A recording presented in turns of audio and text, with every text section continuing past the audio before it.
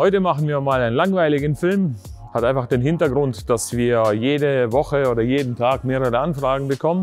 Und äh, diese Anfragen gleichen sich im Prinzip alle in ihrer Art, wie sie aufgebaut sind. Und theoretisch antworten wir auch immer gleich. Und damit wir das Thema in irgendeiner Form abkürzen oder visuell darstellen, würden wir das gerne heute mal plastisch darstellen, was wir darunter meinen, wenn wir zum Beispiel auf Fragen wie, wie bereitet man eine Karosserie vor, wie transportiert man das, ähm, wer macht den Transport? Warum macht man den Transport? Was müssen wir beachten? Was muss der Kunde beachten?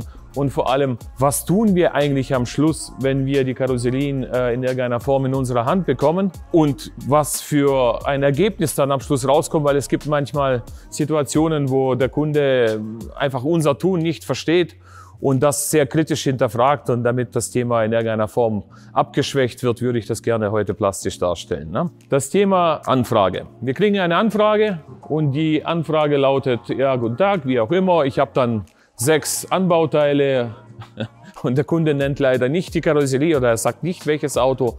Wahrscheinlich hat er einen Ferrari und er möchte nicht, dass ich ihm einen Ferrari-Preis mache, aber sagt er einfach irgendwelche Abmessungen.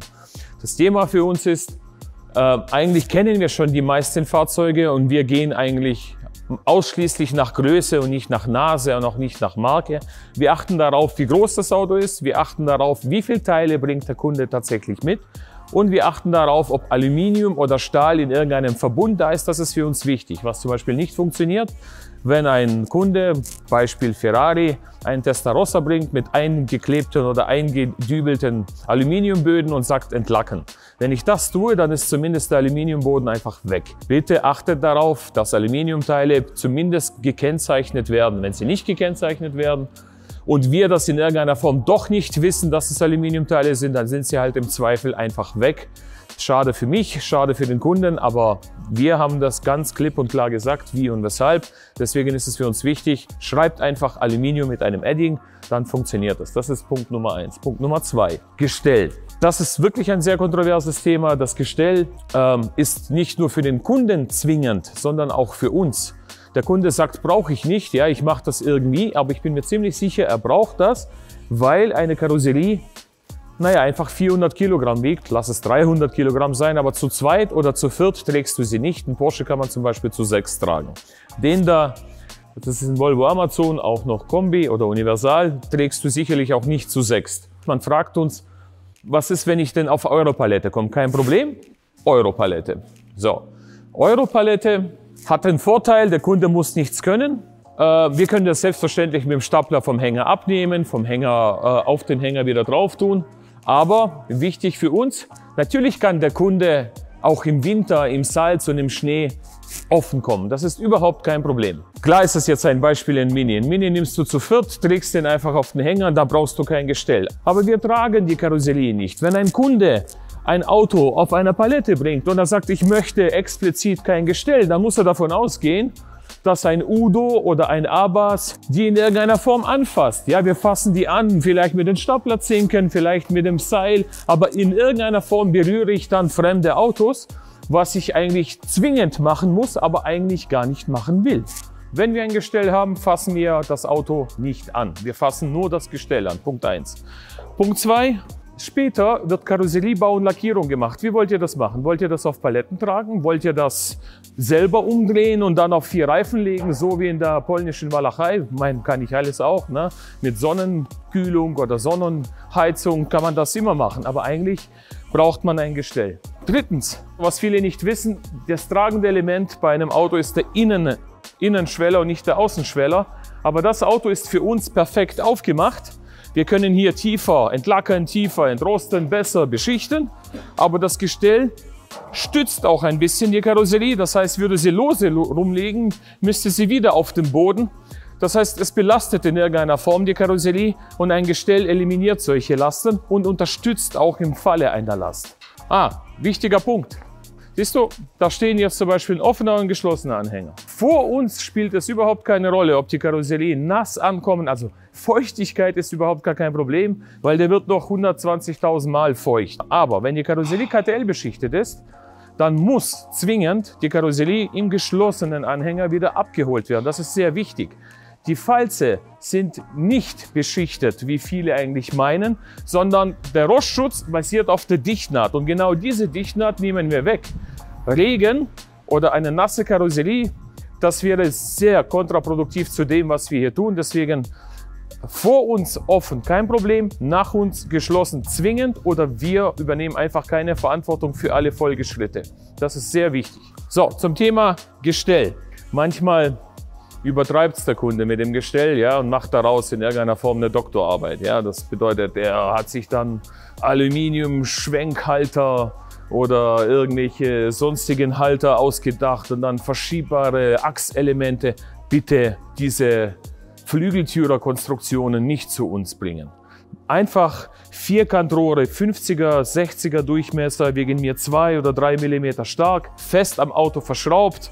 Schön wären zwei Lenkrollen und ähm, zwei Bockrollen und nicht vier Lenkrollen. Warum? Ihr habt die Autos auf dem LKW. Das Aufladen mit zwei Lenk- und zwei Bockrollen ermöglicht einfach, dass vorne einer an der Seilwinde dran zieht, das Auto festhält und dann auf den Trailer aufzieht. Wenn ihr vier Lenkrollen habt, eiert euch das Heck und die Front im Prinzip, dann braucht ihr drei Leute, um so ein Auto abzuladen. Und zweitens kosten die Dinge einfach mehr. Ähm, das kann man sich sparen. Ein weiterer Punkt, Thema Rollenqualität. Das da sind sicherlich sehr teure Rollen, bestimmt 50 Euro das Stück und gummiert. Die hier ist natürlich toll, ne? das ist eine tolle Rolle. Aber, Moment, wenn du diese Rolle mit dem Gurt belastest und die Rolle steht schief und während du zu uns kommst, dann ist die Felge weg, dein Gurt ist lose. Wenn du Pech hast, verlierst du das Auto. Ich habe schon Autos verloren wegen der Nummer. Deswegen Vollkunststoffrollen sind A günstiger, wirklich sehr preiswert und sie können mehr Last, sie rutschen nicht ab. Diese Rollen funktionieren, diese Rollen sind Müll. Das Thema Gestell. Alle Füße, Sacklöcher etc. sollten ablaufen können. Hier ist ein Loch. Wenn es hier voll läuft, läuft es hier wieder leer. Viele machen hier kein Loch. Das bedeutet, wir haben hier stehende Flüssigkeit. Wir gehen die KTL, KTL kocht, versaut hier womöglich das Rathaus. Kunde ist unglücklich, war nicht mein Gestell. Schade drum, der Letzte im, im Glied bin dann ich. Ne? Das ist, sollte man vermeiden. Dann das Thema Breite. Ihr seht, das Auto ist 1,80 Meter, aber das Gestell ist breiter. 20, 30 Zentimeter über dem Boden, 50 Zentimeter über dem Boden funktioniert. Ungefähr so breit wie das Auto funktioniert auch. Alles andere ist nicht gängig. Falls ihr kein Gestell habt, aber ihr wollt ein Gestell, gerne bauen wir euch ein Gestell. Das sind zum Beispiel so klassische Gestelle von uns. Wir haben immer vorgefertigte Gestelle da. 380 Euro netto und euch gehört ein Gestell, könnt ihr gern behalten. Natürlich achte ich darauf, dass die Plakette dort nicht ist, dass wir bauen die ab, aber wir sind auch nur Menschen. Wenn der in den Prozess reingeht mit der Plakette, ist diese Plakette weg. Die muss auf jeden Fall raus. Wie fahre ich denn eine Karosserie? Vorbildlich, Kunde baut im Scharnier mit zwei Schrauben, nimmt am Rahmen mit zwei Kabelbindern. Karosserie bleibt im Prinzip intakt. Das sitzt im Rahmen, das ist fest, das kriegt keine Beulen, das funktioniert. Haube ist mit zwei Schrauben noch dran. Der Rest ist im Prinzip separat. Diese Art ist eigentlich in meinen Augen perfekt. Alle anderen kleinen Teile kann er separat mitbringen. Ah ja, letztes Mal habe ich beinahe einen Hammer auf den Kopf bekommen, weil ich einem ein Loch ins Dach äh, gebohrt habe. Dann fragt man sich, ja, ja, mein Auto hat ein Schiebedach und ich habe jetzt ein Loch im Dach. Ja, dein Dach ist zufälligerweise drei Meter lang, dein Schiebedach ist hier vorne, aber hier entsteht eine Glocke. Diese Glocke muss man eliminieren, indem man hier eine 5 oder eine 3 mm Bohrung macht. Die brauchen wir, weil wenn das Auto aus dem Bad austaucht, entsteht ein Unterdruck, da macht's und das Dach zieht sich rein. Hat es ein Loch, bleibt das Dach intakt. Das Dach oder das Loch im Dach ist zwingend notwendig. Wir müssen das machen. Das Thema, wie bereite ich die Karosserie vor in Form von Unterbodenschutz abkratzen, Dichtmatten raus oder äh, irgendwelche Schallschutzmatten entfernen. Einfach gar nicht. Braucht man nicht. Das funktioniert. Das heißt, ihr könnt euch die Arbeit sparen. Alles, was Organik ist, bis zu 70 Kilo am Auto ist einfach fort, weg, verloren. Oder Thema Transport. Ja? Kunde sitzt in Hamburg, wir sitzen in Stuttgart. Er guckt auf die Landkarte und stellt fest, 680 Kilometer Einweg. Dann sagt er, Ho, ich fahre jetzt nach Norwegen und lasse nur entlacken für 3000 Euro. Das andere habe ich nicht verstanden. Beispiel. Das zweite Beispiel, er ruft bei uns an oder schreibt uns eine Mail. Sehr geehrte Firma Carblast und Entlackungsfabrik, ich habe irgendeine Pagode, ich habe sie jetzt zerlegt, was muss ich beachten? Ich hätte gerne ein Angebot entlackenden Rosten KTL plus Transport. Wir antworten, sehr geehrter Kunde, wir freuen uns, vielen Dank für Ihre Anfrage. Ähm, wir fragen zurück, ist das zerlegt? Ja, nein. Wir fragen zurück, gibt es ein Gestell? Ja, nein. Dann fragen wir zurück, Transport, falls wir den machen, wo holen wir ab? Bitte um die Adresse. Wen rufen wir an? Wann sollen wir das tun? Was wir nicht können, wir können auf keinen Fall Deutsche Bahn spielen. Wir können nicht 16.03 Uhr irgendwo am 13.04.2023 äh, in irgendeiner Straße stehen, weil der Kunde jetzt einen Termin hat. Um 14.22 Uhr kommt dann ein LKW. Das funktioniert auf keinen Fall. Das geht nicht. Wir gucken uns das an und fragen zurück, sehr geehrter Kunde, wohnst du in einer Sackgasse?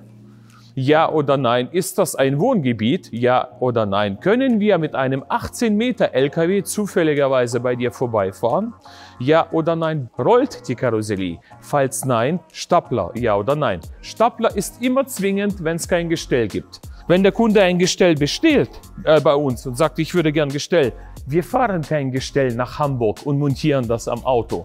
Wir sind keine Gestelltransportfirma, sondern wenn das Auto hierher ankommt, bauen wir passend am Auto, bleibt am Auto. Aber das Auto kommt entweder auf Palette oder auf zwei äh, Holzbalken mit vier Rollen, aber in irgendeiner Form rollt das oder es gibt einen Stapler. Und was wir auch nicht machen können, wir fahren niemals wegen einem Auto irgendwo hin.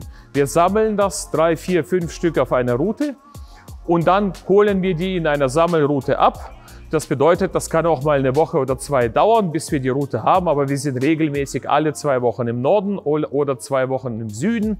Aber wir fahren jede Woche einmal hoch oder nächste Woche dann wieder runter. Das machen wir eigentlich regelmäßig. So, wir haben jetzt was Langweiliges hinter uns. Das heißt, wir haben das Thema, wie kommt ein Auto zu uns, was beachtet man dabei, wie transportiert man, wie baut man ein Gestell. Ah, übrigens, es gibt eine Gestellskizze unter Downloads bei der Entlackungsfabrik oder unter Kablas Konstruktionsgestell findet man eigentlich ganz leicht im Google. Da haben wir im Prinzip was vorgefertigtes, also eine Zeichnung dazu. Wir haben besprochen das Thema Aluminium und Separieren. Wir haben besprochen Thema Loch im Dach oder notwendige Löcher im Boden.